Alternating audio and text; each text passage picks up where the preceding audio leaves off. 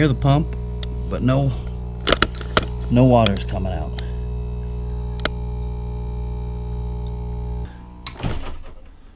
All right. Next, we blow bubbles.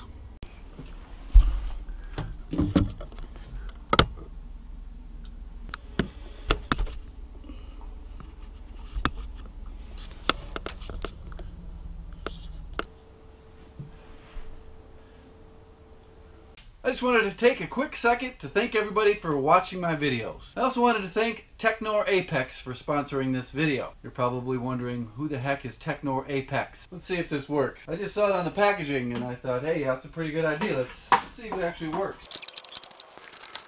There you go, 75 feet in a 5 gallon bucket the Zero G Pro. They sent this to me a few months ago and said, can you please try it out? And if you like it, can you make a video for us? I've been using this hose for the last well, month, month and a half, and it's been working out pretty good. Now, everybody's got a garden hose. Uh, this one here is a little different. It's very compact. 75 feet is right here. One big thing that I like, it's drinking water safe. That means you can use it to fill up your RV or your boat. I've taken it with me to work. I've dragged it up on top of roof. Now, if you are in the market for a new garden hose this summer, go check out this bright green one. You can get it at Lowe's, Ace Hardware. You can get it on the internet. I'll put a link in the description to their website. A lot different than your standard standard garden hose. All right, back to the video.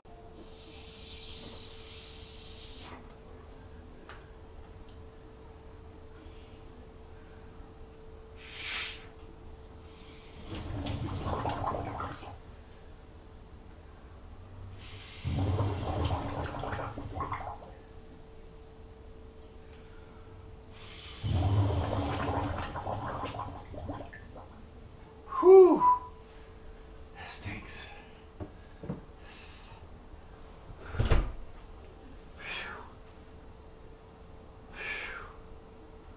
Kick on here.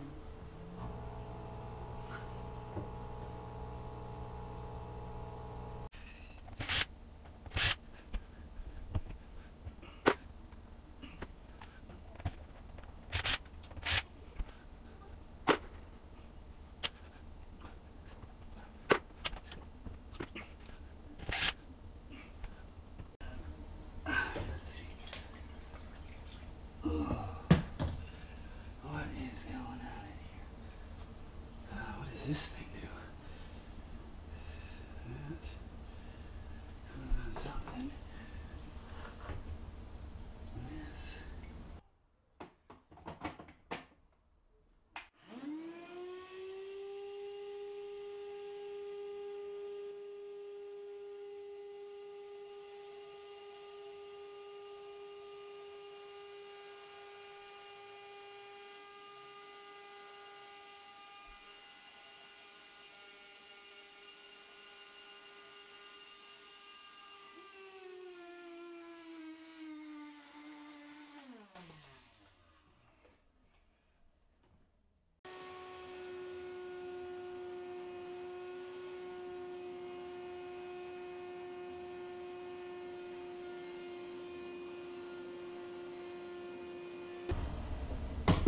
I think that might might have been it. This thing on. Let's see if that freaking thing spins now. Press and hold. Yep.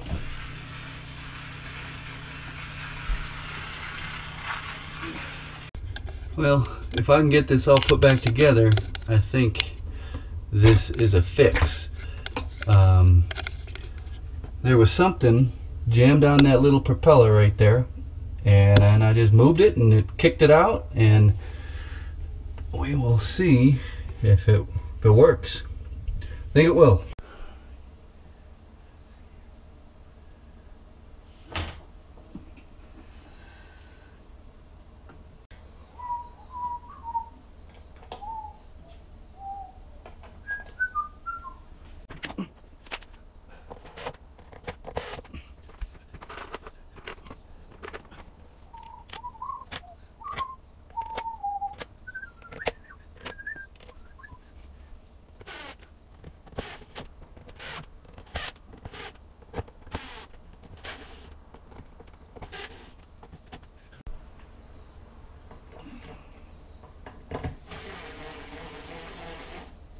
All right, so I reinstalled the hose and we're gonna test it out. I'm not even putting the racks in yet because there is another issue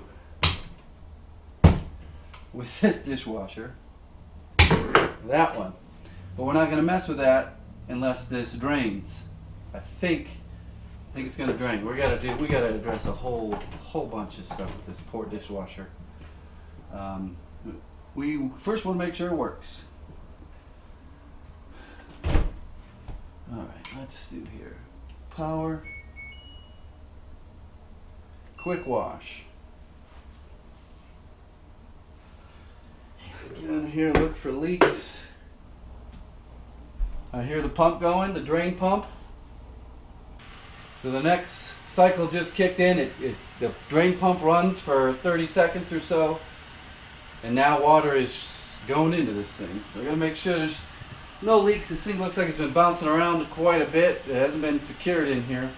This thing here stinks. I need to...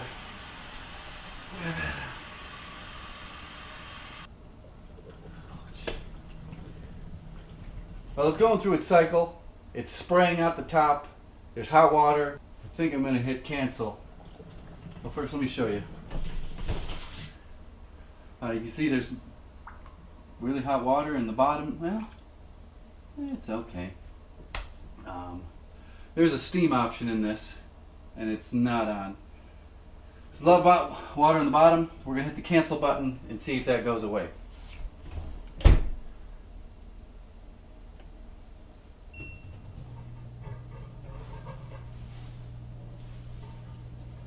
It's draining. I don't know if you guys can hear it but it's draining into that from that tube down into its designated ABS drain. It has its own P-trap.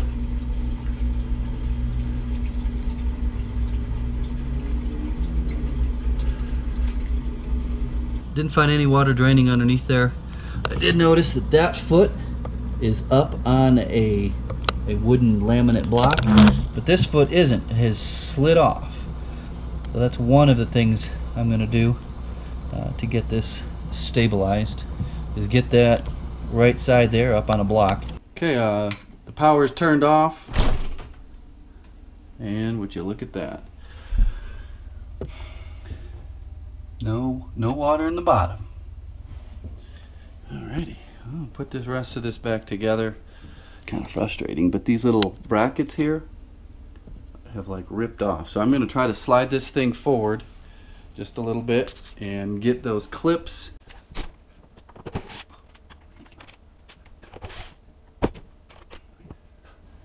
The idea is just to get this come out a little bit so I can access the spring on this side.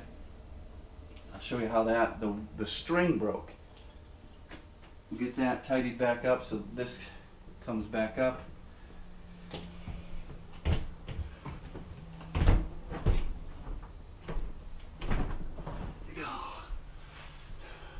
This is the broken string. It's interesting that they use a string in a dishwasher. This is what one that's not broken looks like, and this is the length. So what I've done, because it's 5 p.m. on a Saturday, there's my homemade one. I'm going to show you how it goes in. I am going to be ordering some new parts for this dishwasher. I'm going to order a new one of these, and I'm going to order a new filter, because I think there might be a hole in that filter in the bottom of the dishwasher that could be allowing food particles in. Installed the, the one that wasn't broke, but you can see how frayed right there the string is. So I'll be ordering two of these. And you're probably wondering, why, why put it back together, handyman? Well, I got to get them up and running. Uh, like I said, it's 5 o'clock on a Saturday. Probably won't get these parts till Monday, so I'm getting them up and running. See there? Won't go slamming. It starts picking up the dishwasher. And be honest, this will last for a while. Right there is a wear point. That'll get eaten through, so I'm not leaving it like this. Don't look at this as a permanent repair. I think I'm going to take the slack out. I see a little bit of slack in there. So I'll probably undo one of the knots and take some of the slack out.